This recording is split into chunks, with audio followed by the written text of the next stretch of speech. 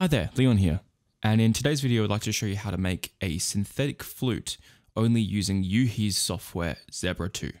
This is the final result.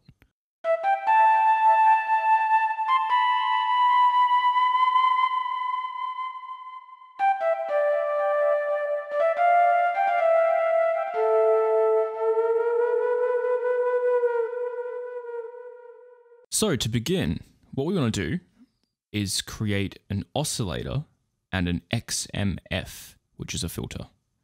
So we have an oscillator default with this oscillator 1, filter 1 patch. Uh, if you just initialize your synth, you'll end up with something like this.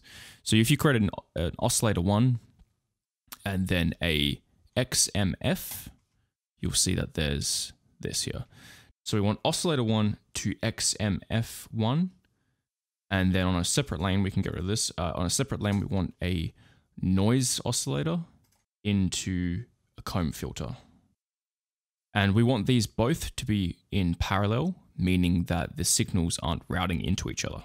Something to note is uh, for this sound to work, we want our voices to be few uh, because we want to more play as legato rather, uh, rather than polyphonic. Oscillator 1 we want this to be a saw wave. We can see here that it's a saw wave just by default. We want our uh, settings to be basically the same as this. However, the vibrato can be brought down to around about 20 and the volume can be at 100% with a LFO1 routed to 100%. Now this is where the flute quality fundamentals come from in the in the sound itself uh, is in this wave section here. Now we actually want to select both of these two boxes. This is a, uh, a sync. Basically, this is cycling through the harmonic series, tuning it to whatever value you choose. So if we have this on and a uh, pulse width modulation. Now the values for both of these, we want our sync to be exactly at 24. This will really get the fundamental of that sound of a flute. And our pulse width modulation, we want to be on 41.5. Now in the key tab, we can keep uh, all this off. In the key tab, basically want this final one to be reaching just over the top of that key and to be able to sort of have this as a straight down line if we can, as smooth as you can get it. This is basically the amount of gain that each note has. So this sort of is equivalent to a compressor in a way, meaning the volume of the high notes will be equal volume to the low notes. So the key fold we want to be on 100%.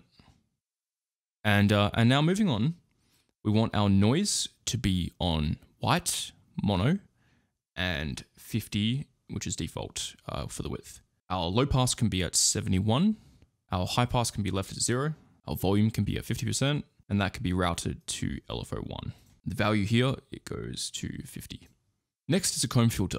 The comb filter is uh, basically what gives it that breathiness in the sound. And we want to select dissonant and noise.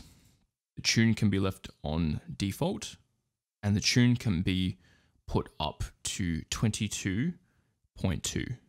The input can be uh, put up to 100 and the damp on 67. Now the feedback can go on negative 50. Next, we go to the sound settings here. We have two tabs, sound and mix.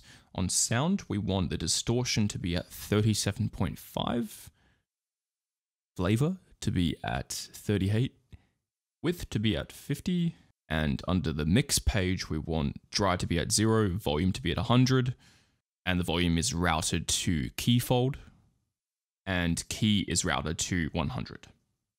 Now, moving on to your XMF We'll set this to LP4, which is a low pass filter. Set this to single.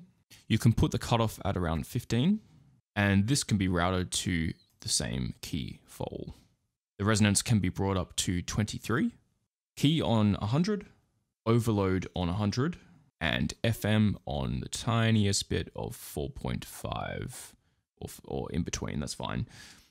Now moving over to our envelopes, now, um, we will end up using two envelopes. However, to access that second envelope, we need to go over here to envelope two. and now we can see it.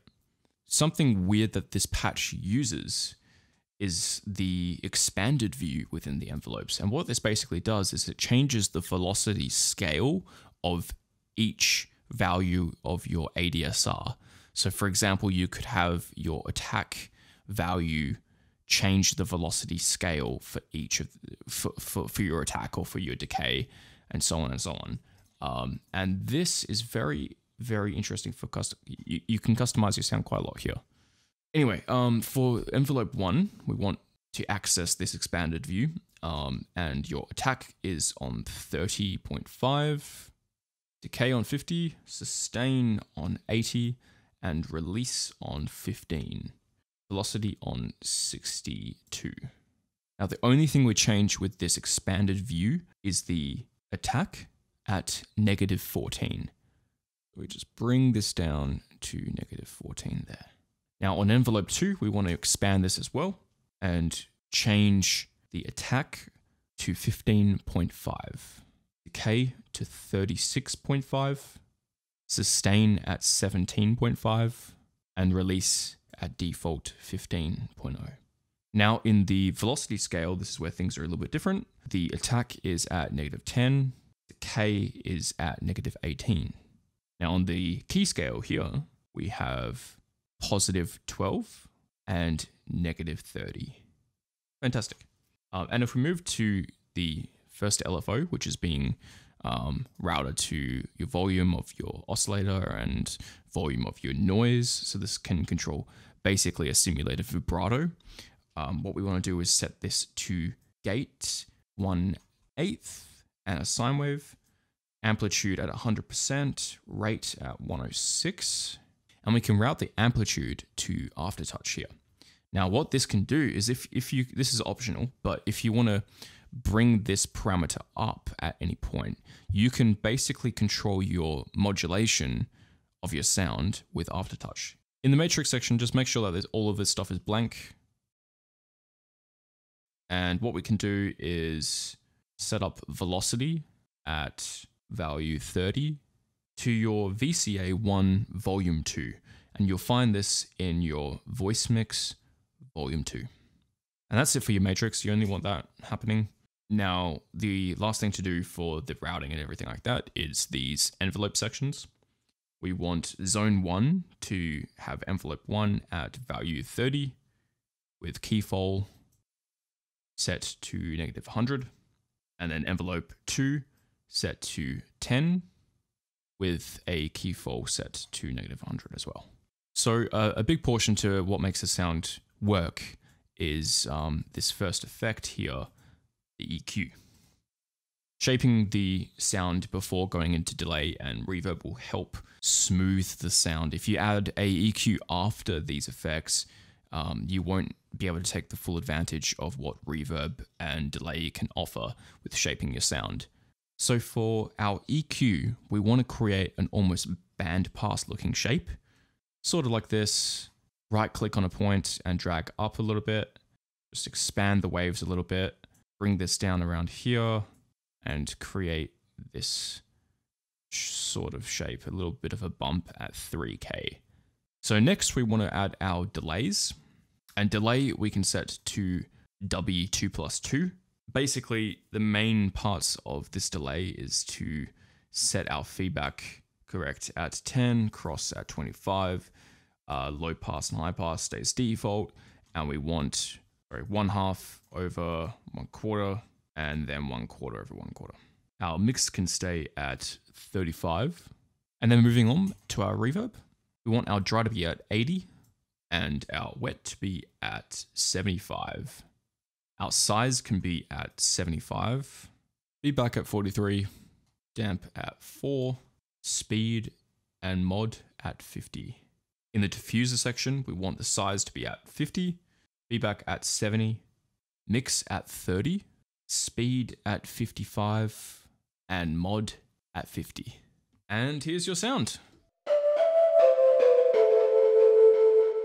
Now, something to note actually before I end this video um, just make sure your key fold is at 100 here. Otherwise, um, your tuning will actually change.